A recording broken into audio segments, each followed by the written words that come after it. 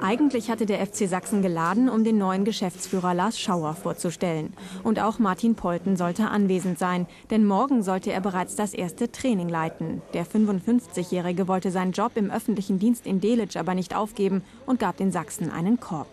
Es ging eigentlich darum, diese Planstelle behalten zu können, beziehungsweise eine adäquate Stelle dann hier in Leipzig äh, zu finden. Äh, wir waren der Meinung, dass wir äh, Unterstützung bekommen, das zu realisieren. Das ist nicht geschehen und äh, alle Bemühungen, die wir gestartet haben, sind also im Sande verlaufen. Selbst die Spieler, die eigentlich nur das neue Trikot des FC Sachsen präsentieren sollten, hatten keine Ahnung. Das ist schon jetzt eine schwierige Situation, weil wir uns alle darauf eingestellt haben, mit Martin Pollen zu arbeiten. Und jetzt wird so kurzfristig entschieden, dass er nicht Trainer wird. Und das ist schon schwierig jetzt. Michael Breitkopf wird vorerst das Training leiten, will aber nach wie vor nur der zweite Mann sein. Der FC Sachsen startet also ohne Chefcoach in die Regionalliga-Saison.